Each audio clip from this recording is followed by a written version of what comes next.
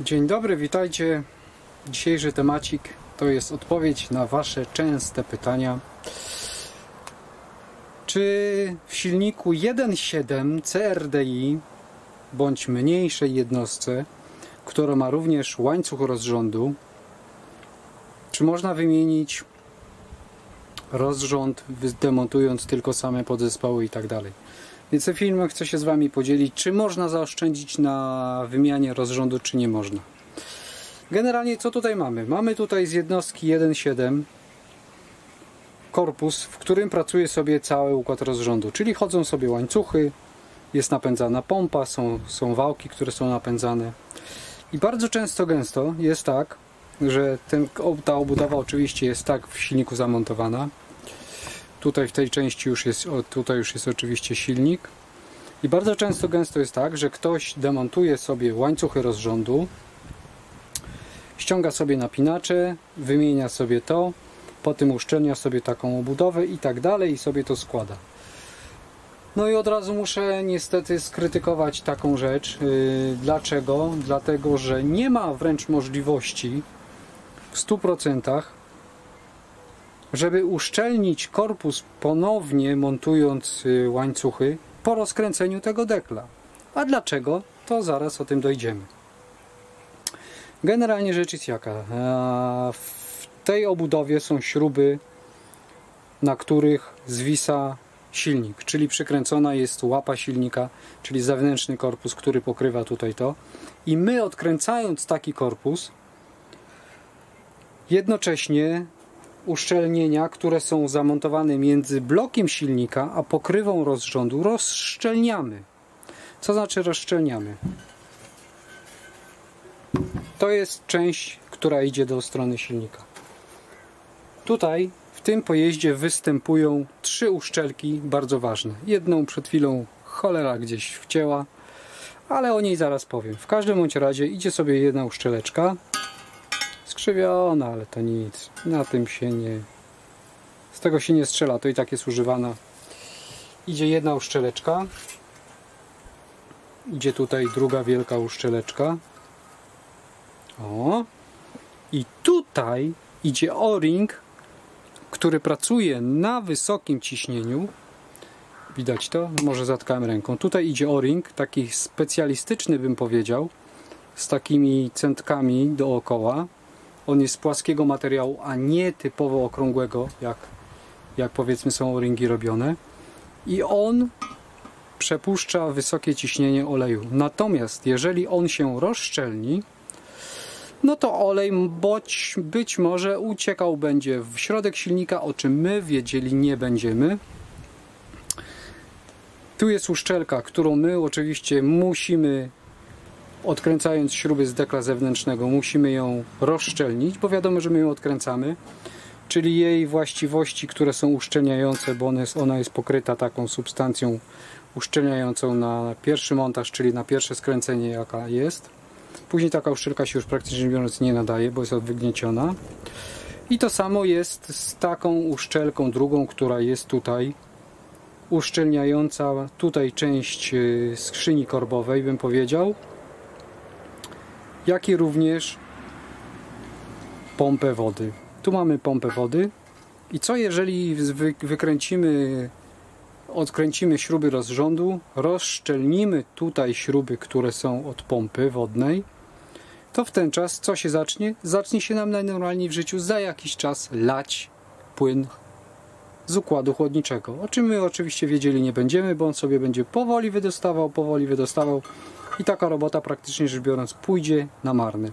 Dlatego też niestety ten dekiel, który jest trzeba zdemontować do wymiany rozrządu zakupić sobie uszczelki także taką uszczelkę zakupujemy i o dziwo chyba jak dobrze pamiętam ta mniejsza jest droższa od tej większej Również o-ring, który no, jest ciężko osiągalny, bo jest tylko z oryginału, nie występuje jako zamiennik, czyli byle w kiosku takiej gumki nie kupimy. I jeszcze oprócz tego jest bardzo ważna rzecz taka, że musimy przygotować elementy do założenia. Co znaczy przygotować? Tu jest rura, która leci sobie za blokiem tyłem z uszczelniaczem, więc ta powierzchnia musi zostać wyczyszczona. O-ring wymieniony na nowy. Tutaj już wiemy, że idzie uszczelka, więc tu się nie musimy zamartwiać. Jak dobrze pamiętam, idzie uszczelka idzie uszczelka również na pompę wody. Bardzo ważny o-ring tutaj, ten, który idzie. I co? Oprócz tych uszczelnień, tych uszczelek, może nie uszczelek, tylko oprócz tych powierzchni, które musimy tutaj przygotować, wyczyścić, odtłuścić przede wszystkim, bo to wiadomo, że pracowało. Tutaj od tej strony mamy zamontowaną pompę paliwową.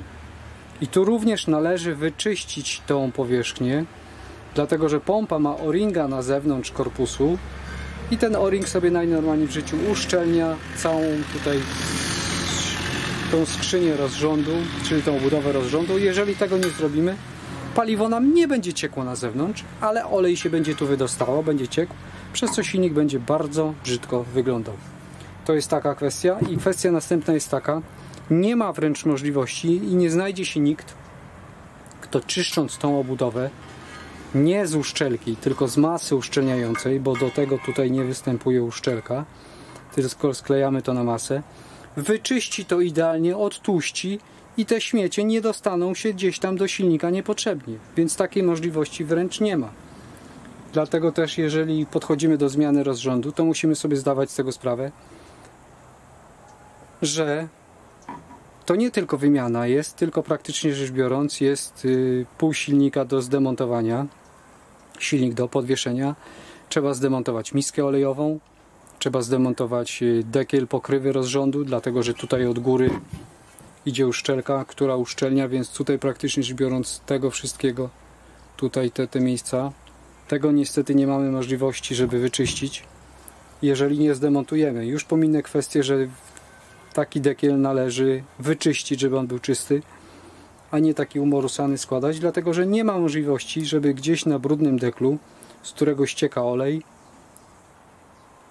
ładnie go odtłuścić i złożyć na masę idealnie cudawianek i się trzyma. I jeszcze kwestia następna taka. Tutaj ten dekiel oczywiście na aktualną chwilę jeszcze się nie nadaje do zamontowania. Dlaczego? Dlatego, że na przykład niedopuszczalne jest, żeby wewnątrz nie wiem czy mi się to uda pokazać znajdowała się masa uszczelniająca no nie, nie da się wydubać z poprzedniego uszczelnienia wręcz to musi być wyczyszczone bo później po demonte, przy, przy montażu śrub o tu jak tutaj zobaczcie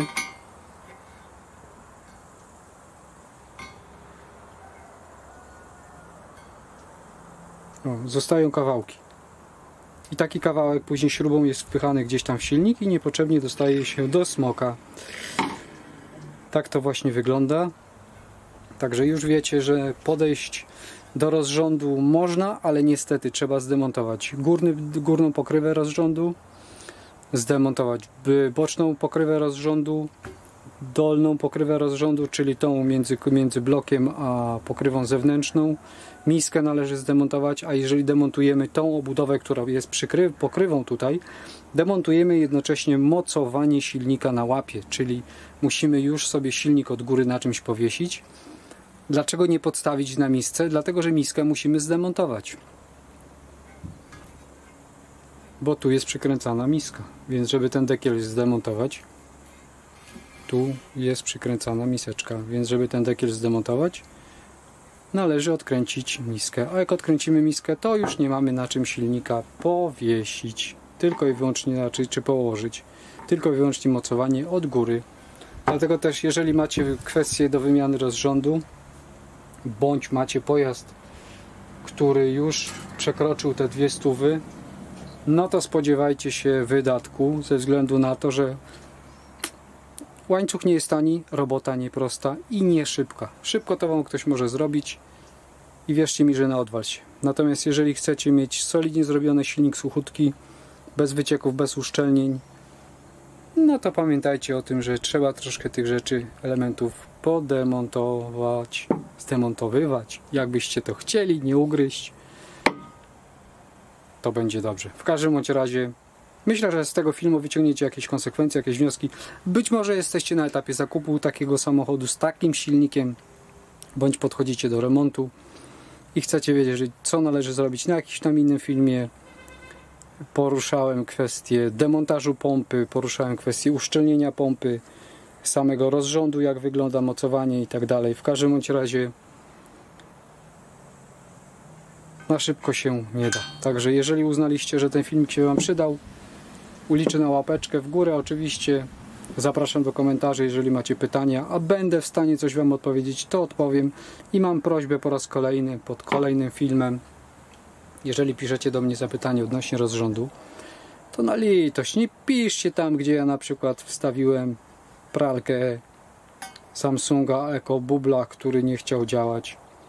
Bo później ja nie mogę się połapać w komentarzach, co gdzie komu odpisywałem. A takie komentarze padają często, że gdzieś tam ktoś napisze do mnie nie pod filmem, który jest adekwatny do pytania, a potem ja chodzę i błądzę, bo on akurat natrafił na taki film i bach strzelił zapytanie. Także tyle, słuchajcie. No i co? Pompa wody wiadomo, że też do zdemontowania na pompie wody również o-ringi trzeba wymienić. No i czas oczywiście. Pamiętajcie, że po uszczelnieniu takiego dekla nie zalewamy go od razu olejem, nie jedziemy w trasę, tylko pasuje odczekać, żeby ta masa ładnie związała. Także póki co jeszcze raz dziękuję, trzymajcie się, do zobaczenia w następnym filmie. Cześć!